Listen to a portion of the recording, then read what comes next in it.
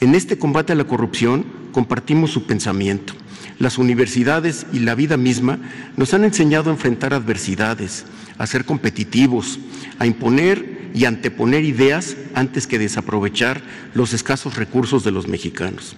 Desde jóvenes fuimos formados en la búsqueda de obras y proyectos realizados en el mejor, menor tiempo, con la mayor calidad y al menor costo posible. Es un terreno donde aún queda trabajo por hacer. La corrupción permeó en todos los estratos sociales y hoy es un mal arraigado que hay que seguir combatiendo. Trabajando juntos, gobierno y sociedad civil, alcanzaremos las metas del México que queremos para nuestros hijos y para nuestros nietos. Por ello pugnamos por la transparencia y lo invitamos a reflexionar sobre el acuerdo publicado recientemente y que declara diversas obras públicas como de seguridad nacional.